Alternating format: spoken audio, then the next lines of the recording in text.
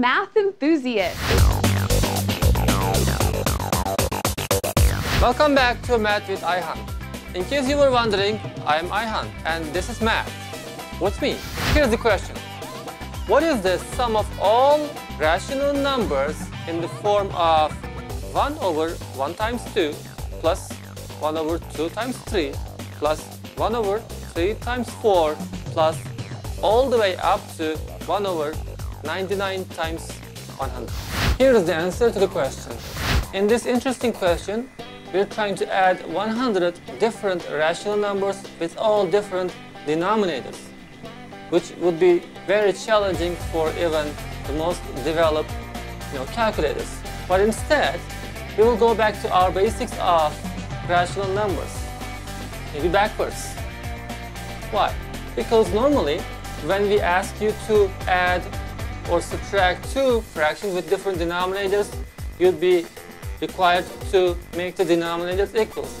But the process in this one works backwards. Look at this. 1 divided by 1 times 2 can be written as 1 over 1 minus 1 over 2. Where in the second fraction, 1 divided by 2 times 3 can be written as 1 over 2 minus 1 over 3. Just take it out. The common factor will be 6. And multiply this by 3 and this by 2. This whole thing is going to be equal to 3 minus 2, which is 1, divided by 2 times 3. And this, this goes on and on all the way to 1 divided by 99 times 100, where you can rewrite this as 1 over 99 minus 1 over 100. And the next line actually is about canceling many, many of these, know, fractions because, because they're simply additive inverse of each other. When you look at that, negative 1 over 2, I can simply find that it could be cancelled out with positive 1 over 2, and also I see negative 1 over 3 can be cancelled out with positive 1 over 3, and so on, all the way to the last term being actually cancelled out would be 1 over plus 99 with negative 1 over 99.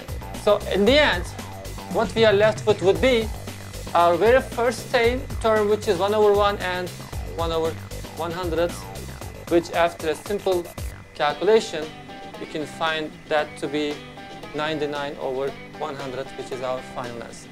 Now it's time for math with you.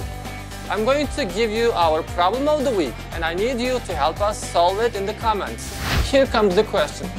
Two terms in the expansion of 1 plus x to the sixth power are chosen. Find the probability that the sum of the coefficients we just chose will be equal to 21. Don't forget to watch next week's video for the answer. Thank you so much for joining us. Be sure to check back every Friday for a new video, and don't forget to subscribe to our channel. In the meantime, check out our website and our social media.